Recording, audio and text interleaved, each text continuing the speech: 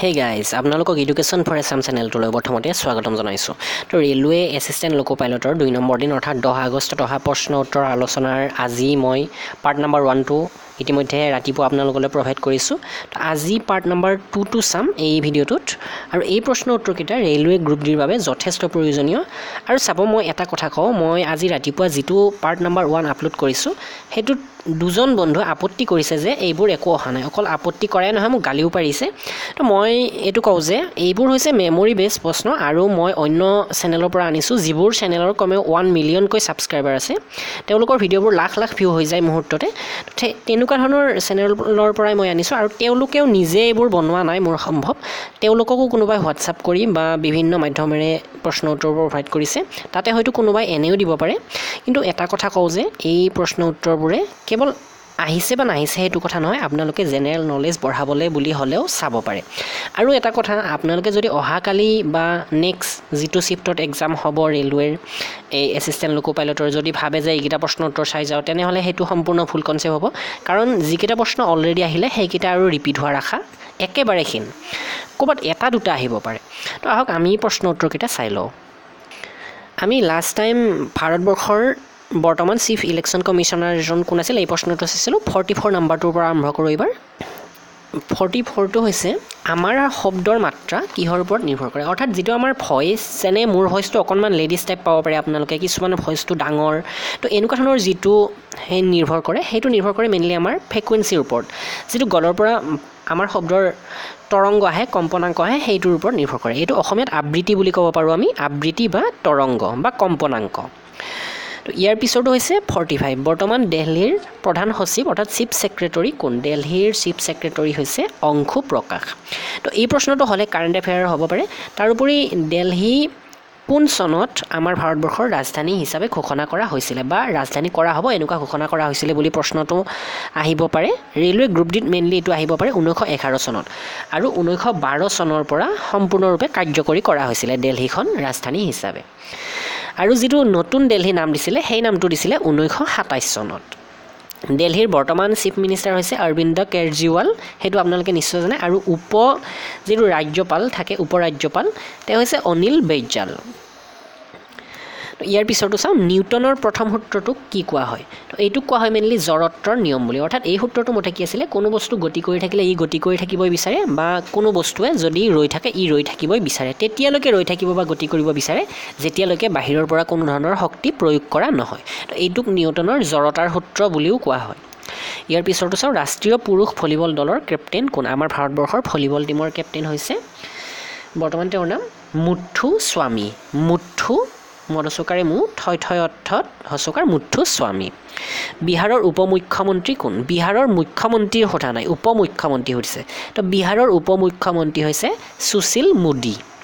সুশীল মোদী আৰু বিহাৰৰ বৰ্তমান চিফ মিনিষ্টাৰ হৈছে নীতিশ কুমাৰ আৰু গভৰ্ণৰ হৈছে সত্যপাল মালিক আৰু বিহাৰৰ ৰাজধানী পাটনা। ফৰ্টি নাইন নম্বৰটো হৈছে সকলোতকৈ গধুৰ ধাতুবিধ কি? সকলোতকৈ গধুৰ ধাতুবিধ হৈছে অস্মিয়াম। অস্মিয়াম ধাতুবিধ সকলোতকৈ গধুৰ। ফিফটি নম্বৰটো হৈছে ইছৰোৰ মুখ্য কাৰ্যালয় ক'ত আছে? অৰ্থাৎ ইণ্টাৰ ইণ্ডিয়ান স্পেচ ৰিচাৰ্চ অৰ্গেনাইজেশ্যনৰ মুখ্য কাৰ্যালয় আছে বেংগালুৰুৰ। আৰু ইয়াৰ কাৰ্যালয় হৈছে বেংগালুৰুত আৰু স্থাপন হৈছিলে ঊনৈছশ ঊনসত্তৰ চনত। আৰু বৰ্তমান ইয়াৰ অধ্যক্ষ হৈছে কে শিৱম। ফিফটি ওৱানটো হৈছে সকলোতকৈ কম পৰমাণু ক্ৰমাংক কোনটো মৌলৰ? তো এইটো গোটেই সহজ হাইড্ৰজেন যিটো মৌল আছে তাৰ মাথো এক হয় বা এক নম্বৰতে আছে এইটো। এই প্ৰশ্নটো ফাৰ্ষ্ট চিফ্টত অহা বুলিও কৈছিলে। এইটো অকণমান বেলেগকৈ আহিছিলে। আপোনালোকে যদি চাইছে মোৰ আগৰ হেৰিটো খণ্ডটো তাতে পাই যাব। বাহুবলী চিনেমাখনৰ ডাইৰেক্টৰ কোন? বাহুবলী চিনেমাখনৰ ডাই ডাইৰেক্টৰ হৈছে S S Raja Mouli S S Raja Mouli Oscar দুহেজাৰ ওঠৰত ভাৰতবৰ্ষৰ কোনখন চিনেমা উল্লেখ হৈছে? উল্লেখ হৈছে বা নমিনেট কৰা হৈছে বুলি ক'ব পাৰোঁ। তো সেইখন হৈছে নিউটন। চৌৱন্ন নম্বৰটো হৈছে দীপা কৰ্মকাৰ কোনখন ৰাজ্যৰ? দীপা কৰ্মকাৰ হৈছে ত্ৰিপুৰা ৰাজ্যৰ। আৰু অলপতে নিউজত আছিলে হিমা দাস। তেওঁ আমাৰ অসমৰে হয় আৰু বৰ্তমান তেওঁ আমাৰ অসমৰ খেল বিভাগৰ মেইনলি ব্ৰেণ্ড এম্বেচাডৰ হৈছে। ইয়াৰ পিছতো আৰ অশ্বিনে কিছুদিন আগতে কোনজন ক্ৰিকেটাৰৰ তিনিশ উইকেট কৰাৰ ৰেকৰ্ড ভংগ কৰিছে? আৰ অশ্বিনে জাহিৰ খান নামৰ যিজন ক্ৰিকেটাৰ তেওঁৰ তিনিশটা উইকেট উইকেট একচুৱেলি এইটো উইকেট লোৱাৰ ৰেকৰ্ড ভংগ কৰিছে। দক্ষিণ গংগোত্ৰী ক'ত অৱস্থিত? দক্ষিণ গংগোত্ৰী অৱস্থিত এণ্টাৰ্কটিকাত। গ্ৰেট আমেৰিকান উইটছ এই কিতাপখন কোনে লিখিছে? এইখন লিখিছে চিয়াৰ্ছ ৰাই বক চিয়াৰ্ছ ৰাই বক ইয়াৰ পিছতো হৈছে বি চি ৰয় বঁটা কোন তাৰিখত প্ৰদান কৰা হয়? অৰ্থাৎ বিনন্দ চন্দ্ৰ ৰয় বঁটা এই বঁটা প্ৰদান কৰা হয় এক জুলাইত। আৰু এই বিনন্দ চন্দ্ৰ ৰয় নামৰ ব্যক্তিজন মেডিকেল লাইনত জড়িত হৈ আছিল আৰু এই এক জুলাই দিৱসটোৱেই মেইনলি পালন কৰা হয় ডক্তৰ দিৱস হিচাপে। তাৰোপৰি অন্য এটা দিৱস হিচাপে পালন কৰা হয় জি এছ টি দিৱস হিচাপে এই এক জুলাই দিনটো আমাৰ ভাৰতবৰ্ষই পালন কৰে। আলু কোনটো পৰিয়াল বা গোত্ৰৰ লগত সম্বন্ধিত? আলু যিটো পৰিয়াল বা গোত্ৰৰ লগত সম্বন্ধিত সেইটো হৈছে চোলেনেচি চোলেনেচি ইয়াৰ পিছৰটো হৈছে দ্ৰৌপদী মুৰ্মু কোনখন ৰাজ্যৰ ৰাজ্যপাল? তো এইটো অন্য এটা প্ৰশ্ন হিচাপেও দিছিলে তো ঝাৰখণ্ডৰ তেওঁ ৰাজ্যপাল। ভাৰতবৰ্ষ আৰু থাইলেণ্ডৰ মাজত কোনটো সৈন্য অভ্যাস হৈছে? তো ভাৰতবৰ্ষ আৰু থাইলেণ্ডৰ মাজত হোৱা সৈন্য অভ্যাস অৰ্থাৎ মিলিটাৰী এক্সাৰচাইজটো হৈছে মৈত্ৰী মৈত্ৰী। ছিক্সটি টুটো হৈছে best actress award two thousand seventeen কাক দিয়া হৈছে? তেওঁ হৈছে আলিয়া ভট্ট। এনেকুৱা এটা প্ৰশ্ন আহিছিলে যে তলত চাৰিজন ব্যক্তিৰ নাম দিছিলে তাৰে কোনজনে নবেল পুৰস্কাৰ পাইছে বুলি সুধিছে আৰু তেওঁ আছিলে অমৰ্ত্য সেন। অমৰ্ত্য সেন আমাৰ ভাৰতবৰ্ষৰে হয় তেওঁ ঊনৈছশ আঠান্নব্বৈ চনত ইকনমিক্সৰ নবেল বঁটা পাইছে অৰ্থনীতিৰ নবেল বঁটা পাইছে। শুকান কোষ বা ড্ৰাই চেলৰ পৰা কি ধৰণৰ শক্তি পোৱা যায়? শুকান কোষ বা ড্ৰাই চেলৰ পৰা মেইনলি কি হয়? কেমিকেল এনাৰ্জি পোৱা যায়। ইয়াৰ পিছতো হৈছে জেননৰ পাৰমাণৱিক সংখ্যা কিমান? জেননৰ পাৰমাণৱিক সংখ্যা হৈছে ফিফটি ফ'ৰ এইবাৰটো হৈছে মেলেৰিয়াৰ পৰজীৱী কি? তো মেলেৰিয়াৰ পৰজীৱী হৈছে প্লাজমডিয়াম। গোৱা ৰাজ্যখন পৰ্তুগালৰ পৰা কেতিয়া স্বাধীন হৈছিলে? গোৱা ৰাজ্যখন পৰ্তুগালৰ পৰা ঊনৈছ ডিচেম্বৰ ঊনৈছশ এষষ্ঠি তাৰিখত স্বাধীন হৈছিলে আৰু ঊনৈছ ডিচেম্বৰটো গোৱা মুক্তি দিৱস হিচাপে পালন কৰা হয়। পানীৰ ঘনত্ব কিমান? তো পানীৰ ঘনত্ব হৈছে নশ সাতান্নব্বৈ KG KG per metre cube. নশ সাতান্নব্বৈ কেজি পাৰ মিটাৰ কিউব। বা যদি এহেজাৰ থাকে এহেজাৰো লিখিব পাৰি। কেতিয়াবা যদি নশ সাতান্নব্বৈ নাথাকে এহেজাৰ আছিলে তেনেহ'লে সেইটো লিখিলেও হ'ল হয়।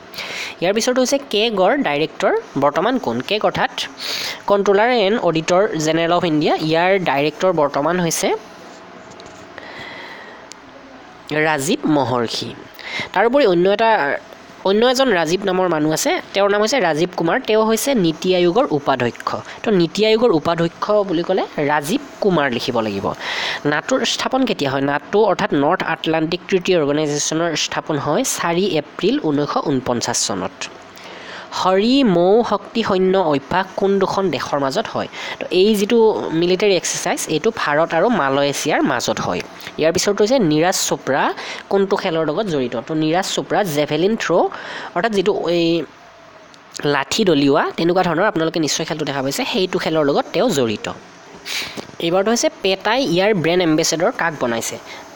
পেটা যিটো people for the ethical treatment of animal Peter full ফৰ্মটো হৈছে এইটো P people for the ethical treatment of animal আৰু এই সংস্থাটোৱে অনুষ্কা শৰ্মাক তেওঁলোকৰ ব্ৰেণ্ড এম্বেচেডৰ বনাইছে। আৰু এই সংস্থাটো মেইনলি জীৱ জন্তুবোৰৰ যিটো সুৰক্ষাৰ কাৰণে বা জীৱ জন্তুৰ যি অধিকাৰ আছে সেনেকুৱা ধৰণৰ লগত জড়িত এটা সংস্থা।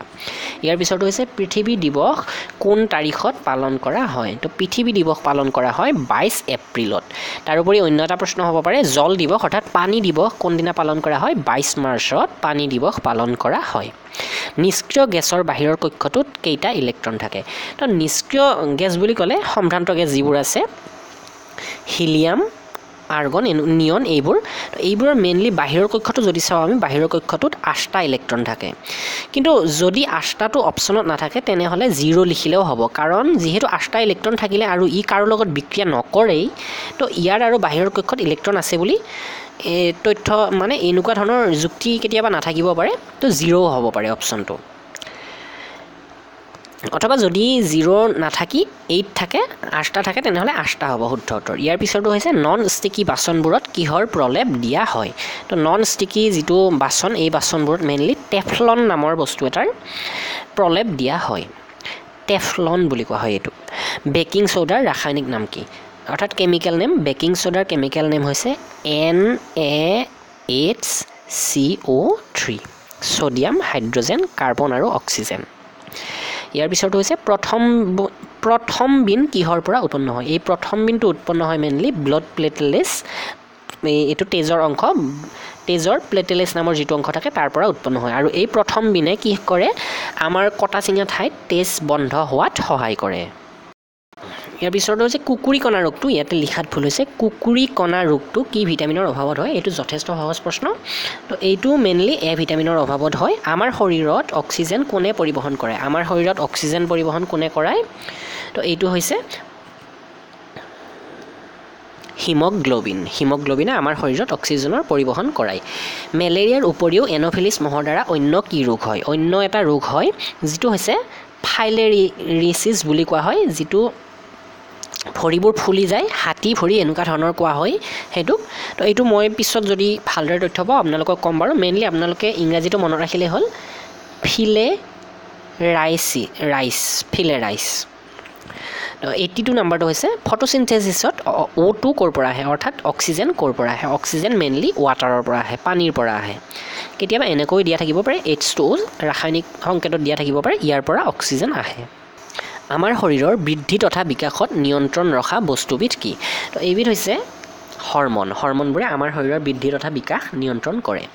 যিবোৰ গছ অত্যধিক গৰম তথা শুষ্কতাটো বৃদ্ধি হয় সেইবোৰক কি কোৱা হয়? তো সেইবোৰক কোৱা হয় মেচ'ফাইটছ। মেচ'ফাইটছ। ইয়াৰ পিছৰটো হৈছে পিৰিয়া ৰোগটো ক'ত হয়? পিৰিয়া ৰোগটো মেইনলি মুখত হয়। আমাৰ গামছ বুলি কোৱা হয়। গামছ চি ইউ এম এছ ইয়াত হয়। গামছত হয়। ইয়াৰ পিছৰটো হৈছে ধাতুবোৰ ধাতুবোৰ বিদ্যুতৰ সুপৰিবাহী কিয়? ধাতুবোৰ বিদ্যুতৰ সুপৰিবাহী হোৱাৰ কাৰণ হৈছে সিহঁতৰ বহুতো মুক্ত ইলেক্ট্ৰন থাকে যিটো বাহিৰৰ কক্ষ ইয়াত মুক্ত ইলেক্ট্ৰন থাকে। অৰ্থাৎ সিহঁতৰ চাৰিটাতকৈ কম থাকে বা চাৰিটা থাকে তিনিটা দুটা এটা এনেকুৱা ধৰণৰ ইলেক্ট্ৰন থাকে সেইটো কাৰণতে সোনকালে বিক্ৰিয়া কৰে আৰু বিদ্যুতৰ সুপৰিবাহী হয়। ইয়াৰ পিছৰটো হৈছে ৰেডিঅ' এক্টিভিটিৰ সময়ত বিকিৰণ নোহোৱা বস্তুটো হ'ল। ইয়াতে চাৰিটা অপশ্যন আছিলে। কি বিকিৰণ নহয়? নিউটন ই বিকিৰণ নহয়। ইয়াতে অপশ্যন মতে শুদ্ধ উত্তৰ আছিলে নিউটন। আমাৰ বায়ুমণ্ডলৰ প্ৰধান উৎসটো কি? আমাৰ বায়ুমণ্ডলৰ প্ৰধান উৎসটো হৈছে কি? নাইট্ৰজেন। আমাৰ বায়ুমণ্ডলত প্ৰায় ছেভেণ্টি এইট পাৰ্চেণ্ট নাইট্ৰজেন পোৱা যায়। এছিয়া মহিলা হকী বিশ্বকাপত কোন বিজয়ী হৈছে? এই এছিয়া মহিলা হকী এই যিটো বিশ্বকাপ হৈছিলে ইয়াতে আমাৰ ভাৰতবৰ্ষ বিজয়ী হৈছিলে। লাষ্টৰ প্ৰশ্নটো হৈছে এছ এগেইনষ্ট অ'টছ নামৰ কিতাপখন কোনে লিখিছে? এইখন লিখিছে ছানিয়া মিৰ্জাই। তেওঁক নিশ্চয় জানে আপোনালোকে ছানিয়া মিৰ্জাই এইখন কিতাপ লিখিছে। আৰু এইটো প্ৰশ্নৰ লগে লগে আজিৰ ছেশ্যনটো শেষ হ'ল। আৰু বন্ধু বান্ধৱীসকল যদি এই প্ৰশ্নবোৰ কিবা কাৰণত এই দহ তাৰিখৰ এক্সামত অহাও নাই তেনেহ'লেও আপোনালোকে চিন্তা কৰিব নালাগে। কাৰণ আমি নলেজ গ্ৰহণ কৰিবলৈ হ'লে যিকোনো প্ৰশ্ন চাব লাগে। আৰু এইবোৰ নেক্সট এক্সামত নিশ্চয় অহাৰ আশা আছে। ৰেলৱেত নাহিলেও অন্য এক্সামত আহিব এছাম পুলিচত আহিব বা তেনেকুৱা ধৰণৰ আৰু বহুতো এক্সাম আহি আছে এছ এছ চিত আহিব পাৰে। আৰু এইবোৰ হৈছে মেমৰি বেছ প্ৰশ্ন। আৰু যিবোৰ অন্য ইউটিউব চেনেলতো দি আছে তো সেইবোৰো আপোনালোকে চাব পাৰে। কাৰণ মই নিজে কোনো চেণ্টাৰলৈ গৈ এইবোৰ সংগ্ৰহ কৰা নাই বা মই এতিয়ালৈ ইমান বেছি বন্ধু নাই মোৰ যে তেওঁলোকে এছিষ্টেণ্ট লোক পাইলটৰ এক্সাম দিব। তো কিন্তু তথাপি মোক ইউটিউবৰে কেইজনমান বন্ধুৱে অলপ সহায় কৰিছে এই ক্ষেত্ৰত। তো কৈছে যে বৰ বেছি কমন পৰা নাছিলে আৰু ইয়াৰ আগৰ যিটো ছেশ্যন আছিলে সেইটোৰ পৰা মাথো দুটা কমন আছে বোলে তেনেকৈ কৈছে। কিন্তু মই ভাবোঁ হয়তো ইয়াৰ পৰা থাকিবও পাৰে। আৰু যদি নাইও তেনেহ'লে আপোনালোকে এই ছেশ্যনবোৰ চাই আপোনালোকৰ নলেজটো বঢ়াই লওক আৰু পাৰিলে এইবোৰ নোট কৰি ল'ব। আৰু যদি ইয়াৰ মাজতো কিবা মোৰ ভুল ভ্ৰান্তি হৈ গৈছে তেনেহ'লে মোক তাৰ কাৰণে আগতে ক্ষমা কৰি দিব আৰু অনুগ্ৰহ কৰি সোনকালে কমেণ্ট ছেকশ্যনত সেইটো জনাব। আজিলৈ ইমানখিনিয়ে ধন্যবাদ।